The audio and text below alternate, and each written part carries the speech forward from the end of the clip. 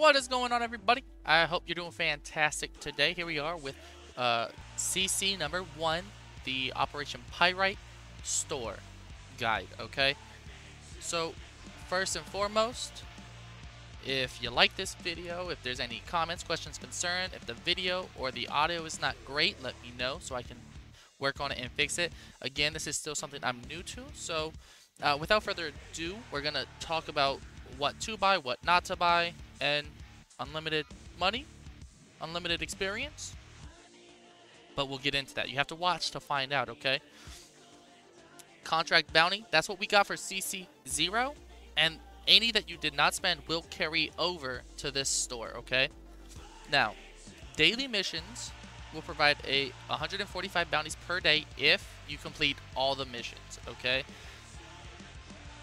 That is risk 8 and the combination contracts that they want you to use.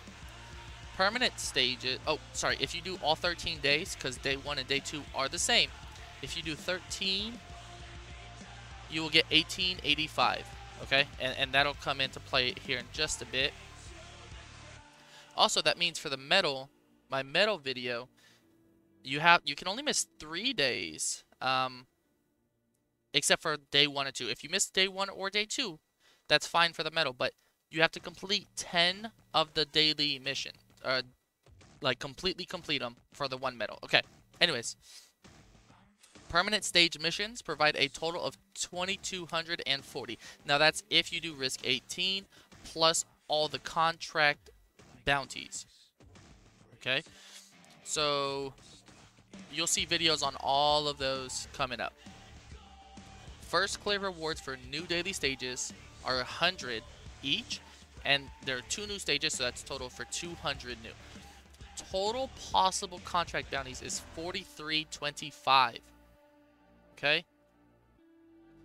Total cost of clearing the new cross-season store is 2800. That does not uh, include anything from the last CC.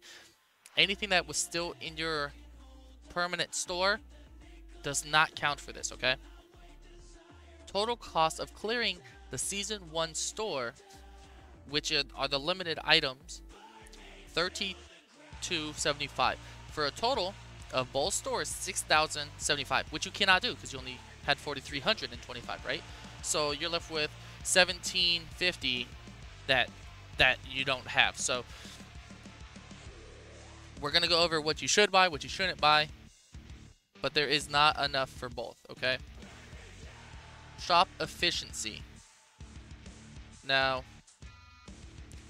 the, the manganese trihydrate, polyester lump, and the grindstones, okay? Those are all very good for sanity versus CC coin, okay? Um, along with the RMA and the Aketon. But you have to decide what you what you need or don't need, right? If in the previous event you just grinded Aketon like I did, that might be something I choose not to get. These yellow experience, unless you need experience, I would suggest not doing it, right? Unless you need the experience, I wouldn't go for this because you're actually you're not even at the 1.0 mark for the sanity. Now, don't get me wrong, it's better than anything in the unlimited, but would you rather have one yellow XP or an RMA for nearly the same cost. An RMA, okay. So, um, back up here, furniture parts. If you don't like furniture, skip these, right? If you don't want to miss sets, this is something I would pick up if you are big on it. Now, I like collecting limited stuff, even though I don't see it. So, I'm going to be picking up the furniture parts. LMD, always pick up LMD. Polymer prep, depends on how much you have of it, okay? And the sugar packs, again, you you do have to kind of decide what what you need, but I would definitely say pick up all the the purple, the the manganese trihydrate, the polyester lumps, and the grindstones. Even if you have a bunch, I would pick them up. The RMA, pick them up. Aketon, I might not, based on what I want to do with the limited store. Okay. The unlimited items, you can buy as many of these. The RMA, um, it's a decent buy. but I wouldn't go too much with the unlimited items unless you're not going to buy the skins or the um, furniture from the permanent store. The chips, unless you need them, I wouldn't do it. Not at all.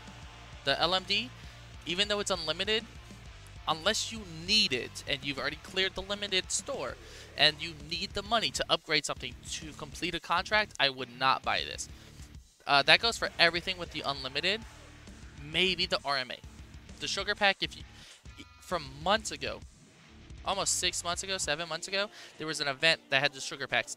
I still have some left over, right? So unless it's something that you need, I would not buy anything from the unlimited the unlimited store.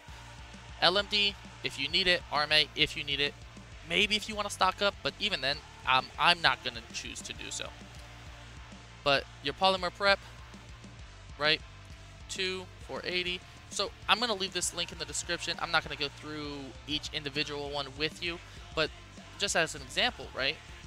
On the unlimited store, that these aren't even counted and you don't have enough already to buy everything.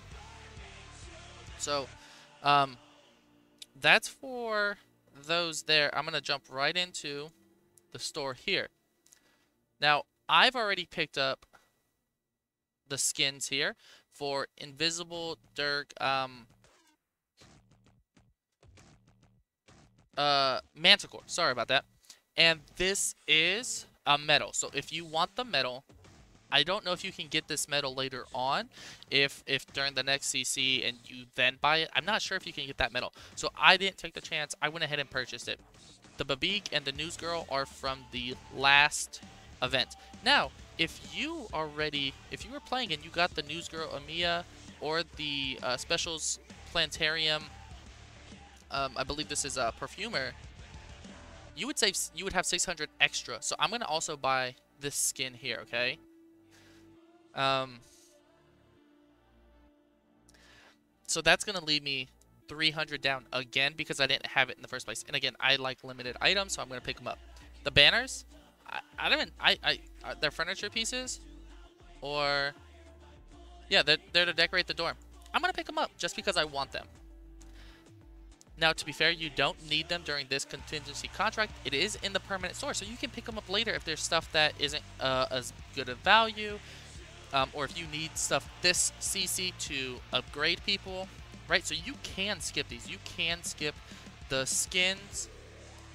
If you want the the medal, I would I would pick up the um, Manticore skin just in case that medal goes like you can't pick up that medal later, but you should be able to.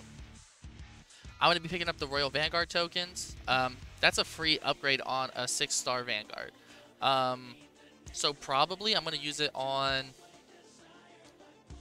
um, Bagpipe for me, because I picked up a Bagpipe. But let's go in here, right? Pick up your polymer prep. Pick up your grindstones, your mag manganese, your polyester lumps, okay? Pick up your RMAs. Aketon, if you have a whole bunch, this is something that you can skip. Sugar pack, you can skip. LMD, pick it up. No question about it, right? Um, the the XP, I'm going to pick these up. These are one of the XPs I wouldn't skip, but it's not a great value. So so I might save it till last, right? Furniture parts, save till last, but it's something I do want. But that's it for the that's it for the store. For the like limited store. Or the un well, yeah, the limited store. Now you have the unlimited store, which you can just go buck crazy on if you choose to. Unless you need these chips to upgrade somebody to beat a level, don't do it. You can farm these when there's no CC. Devices, Polyketon, Oriron, Polyester, Sugar, Rock Cube. Again, I don't think that any of any of them are worth it. The only unlimited thing would be RMA or LMD. That's it. Um, unless you specifically need something to level up. The Orirock Cube, let me show you. Um, a few months back, there was a event where if you farmed a level, you had a chance to get bonus uh, sanity. I went out and farmed about 2,000. I've only gone through 400. This might take care of me for a long, long, long time, right? But so the RMA, I have 80, but I'm still going to be picking them up, okay? Um, but like polyester packs. I have 100. I have 164 of the polyester. So I don't know how much of the, the sugar, right? So the Aketon, look, I just farmed 130 of them because I, I was sitting at like 7 or 8. I just farmed 130 during the last event. So, yes, down be below you'll have the link to this the sanity cost and the efficiency of each of them. But first and foremost, pick what you want. It's a game.